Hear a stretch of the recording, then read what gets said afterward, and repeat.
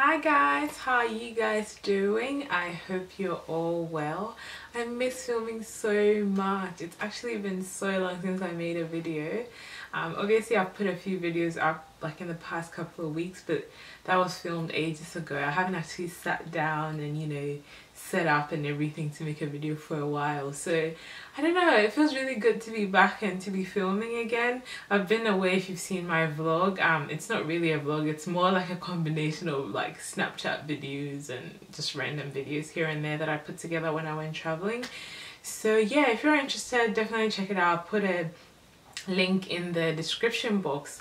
But anyway in this video I just wanted to share with you how to pass any assignment to be honest. Um, I'm going to specifically talk about social work because that's what I talk about on my channel but you can apply this in any circumstance in any assignment and I'm sure it would help you do good.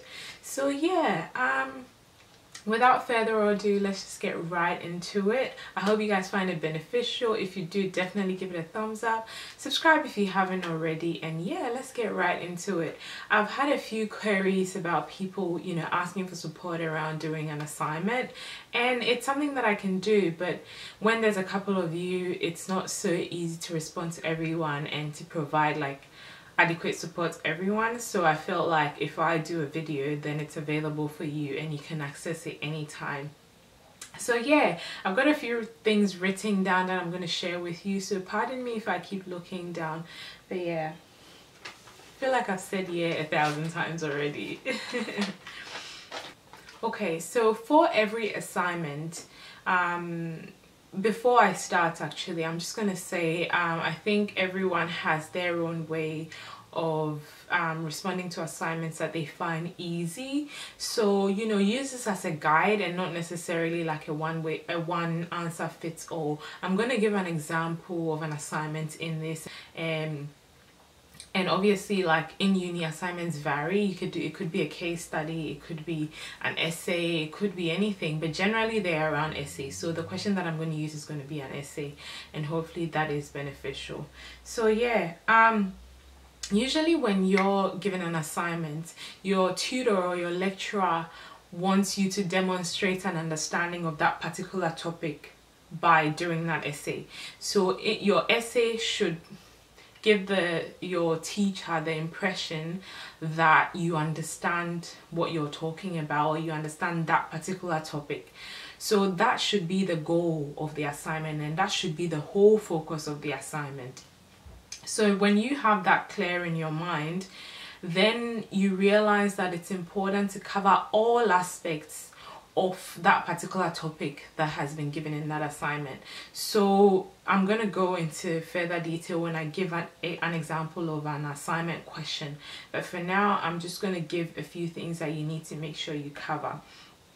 Um, so obviously in trying to show that you understand the topic, it's important to give examples of things that are related to that particular topic, especially if it's an essay. Usually essays are just like one line questions, but you can't just respond with a one line answer. Usually they'll say you need to give a thousand words or 2,500 words.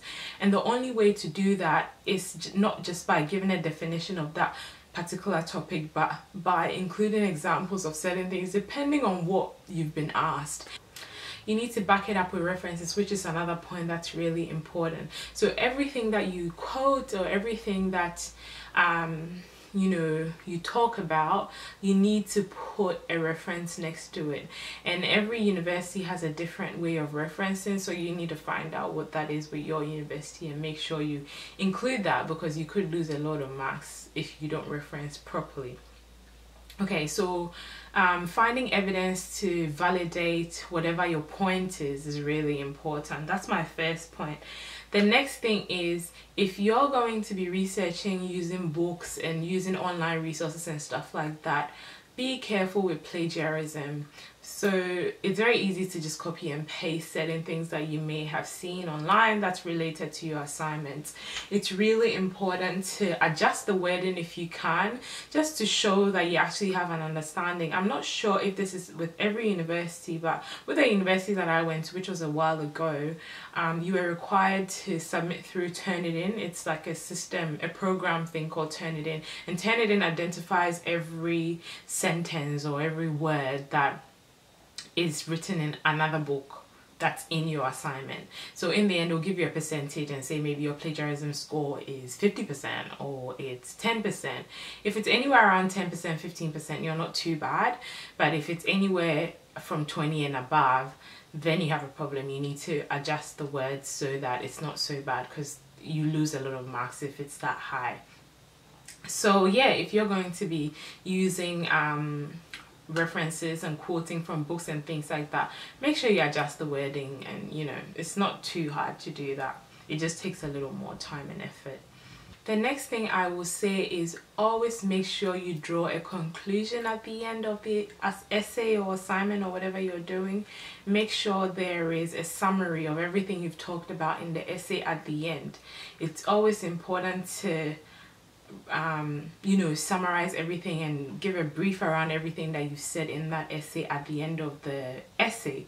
Because it just, you know, I know how to, it just sort of concludes everything and it just sort, sort of puts everything together and it makes everything make sense. So it's really important to do that. And usually if you're given a lot of words you know you need, you need words to make up for it anyway. So you could be repeating yourself but at the same time it sort of summarizes everything that you've talked about earlier on so in every essay, there needs to be an introduction, there needs to be a body, and then there needs to be a conclusion. So the body is where you would usually talk about you know you, you usually talk about the research that you found that backs up the knowledge that you've spoken about in the introduction so in the introduction is where you can say in this essay i'm going to be discussing whatever it is and then you move to the body and then you you know provide evidence of what you're talking about and then you move to a conclusion and then you summarize everything that you've spoken about so yeah, I hope that makes sense. Another point, oh my god, this is the most important point. I forgot to mention it. So for me personally, because when essay questions are given to us, it's given to us in just one line. So I find it easy to break it down into smaller questions. That way I'm able to answer each of them individually. And then at the end, I make sure I've covered all those little questions that I put together at the beginning in the conclusion. And that way I know I've actually answered the question so let's get right into the example because it'll be so much easier to just do it that way. Okay, so the example I'm going to use is, the question is, discuss the impacts of domestic violence on culturally and linguistically diverse communities. So obviously it's a one line question, but in your response, it won't just be um, you know impacts on them in a negative way or something like that because generally you'll be asked to respond in a thousand words or in 2500 words or whatever. So if you're going to break this down this is what you need to cover. You need to discuss what domestic violence is. That would be the main thing. So if you're breaking it down the first thing will be what is domestic violence? The next thing will be um, what are some of the effects of domestic violence on people? Um, the next thing will be who what who does domestic violence affect in general?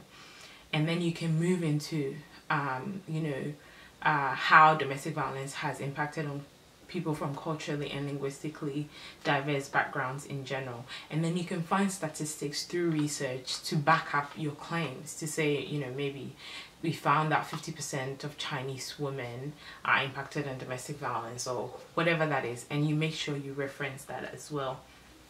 And then in conclusion you will summarize everything that you've spoken about and say you know so in conclusion domestic violence is um, is uh, intimate partner abuse and um, has been found to impact on 50% of Chinese women within Australia and um, impacts on them the impact of the on them can include um, you know physical health issues emotional health issues child protection issues blah blah blah etc so that would summarize everything that you've spoken about.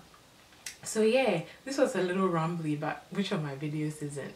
I hope you guys have found this video beneficial. If you have definitely give me a thumbs up. Subscribe if you haven't already. And yeah i guess i'll see you in my next video. Bye guys